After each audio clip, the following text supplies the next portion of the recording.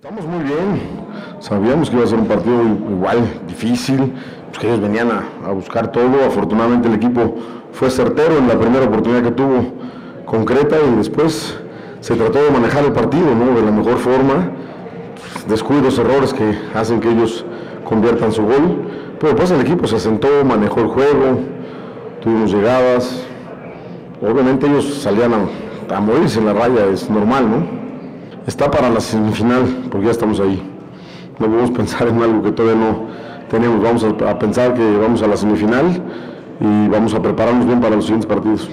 Pues que lo diga, que venga y que lo diga aquí, porque me parece que nosotros no, no fuimos los que hicimos que se pelearan con el árbitro. Sabemos que afortunadamente el equipo se concentró porque también recibimos algunos, algunas patadas que obviamente les pedí que no las reclamaran, que no se metieran, que se concentraran en el partido.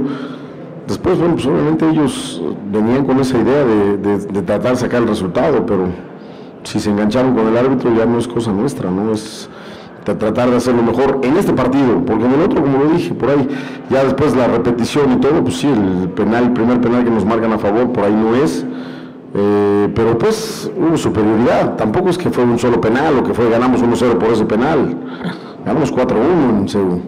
Entonces me parece que no, no pasa por ahí. Si hoy pues, tendrán que preguntar al árbitro por qué echó a los jugadores de Pumas, digo, algo han de haber dicho, porque pues, luego la de Castillo es muy obvia, ¿no? Estaba molestado y, se gana la segunda amarilla, aunque fue de roja directo, porque le pone el pie, una plancha en el cuello a, a Edson. Entonces, son circunstancias de juego, ¿no? Como nos ha pasado a nosotros en el torneo, ¿no? Pero bueno, pues nosotros aprovechamos la superioridad numérica y manejamos mejor la pelota.